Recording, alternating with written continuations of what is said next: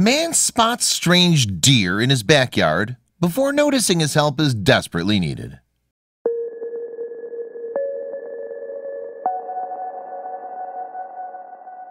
No matter how hard you try, you can't really keep wildlife, or rats for you city dwellers, off your turf. Most of the time we simply ignore any critters passing through our backyards. That's usually the smart move. But sometimes interaction with them is unavoidable. This New Jersey man called the authorities in a panic when he spotted an imperiled creature outside his window. However, he couldn't provide many details on the situation. That's because he'd never seen an animal like that before in his life. The people of Colts Neck, New Jersey were fed up with deer in 2018. The animals popped up everywhere, and they seemed to multiply every day.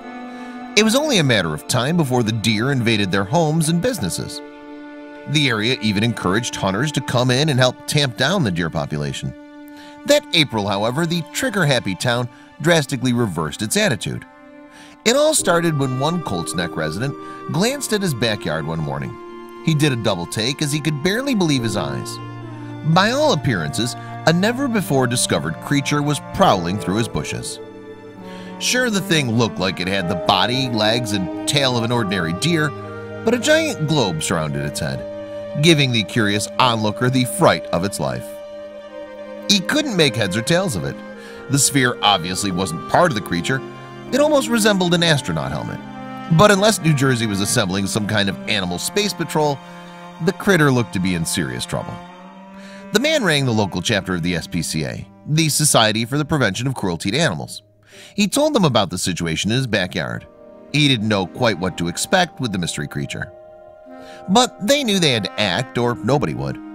The SPCA sent a team over and they put the pedal to the metal. If their suspicions were correct, then time was of the essence. Arriving on the scene, the rescuers sized up the situation.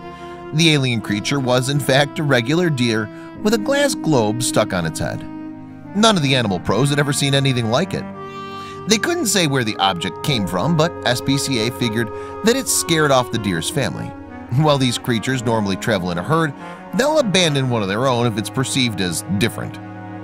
Before piecing together the mystery, the team had to remove the globe from the deer.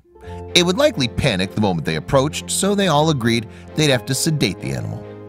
The SPCA pros administered the sedative and helped the deer lie down gently, careful not to shatter the glass around his head. The animal looked like it had seen better days. Scrapes covered its body and quite a few ribs were visible. They surmised that the globe prevented the deer from eating for multiple days and obscured its vision. The SPCA could only hope the effects of starvation weren't too great. With a mighty tug, they pulled at the glass. Fortunately, the globe popped off without much resistance. That just left the matter of a weakened, lonely deer. The animal controllers wanted it to return to its herd but feared the task might be asking too much. While the deer barely responded to the rescuers at first, they gradually got it to accept some fluids and food. That was a good sign, though the SPCA didn't want to interfere any further. They moved away from the deer and watched from a distance. After a while, it found the energy to pick itself up and walk out of the backyard. Now the SPCA turned their attention to the cause of all this distress. They consulted some authorities in the area about where the giant glass globe could have come from. Taking a closer look, they couldn't help but feel surprised by its size and weight.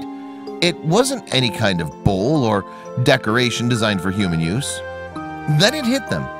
It was the cover for a highway streetlight. The globe must have fallen down, filled with rainwater, and attracted the thirsty deer. When the animal bent down for a drink, the glass got stuck around its neck. Well, it was an unusual accident. The SPCA was just relieved that somebody noticed the deer before it was too late. They feared it wouldn't rejoin the herd, but luckily there were no reports of a lone deer wandering through the region. The deer's close call also taught the town of Colts Neck a lesson or two. While they once saw the creatures as pests, they now celebrate the SPCA for helping out an animal in need. They were fortunate to save the deer, as other rescues have gotten far dicier.